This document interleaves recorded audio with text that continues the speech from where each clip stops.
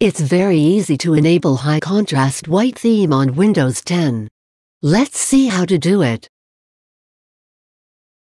Right-click on Desktop. Click on Personalize.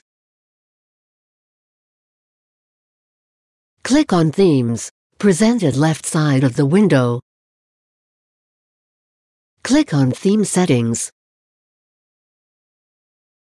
Click on High Contrast White Theme and close the window.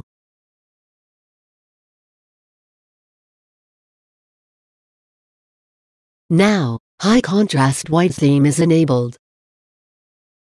To check out more tech videos, click here. To subscribe GuruAid channel, click here. For instant tech support, call GuruAid toll-free numbers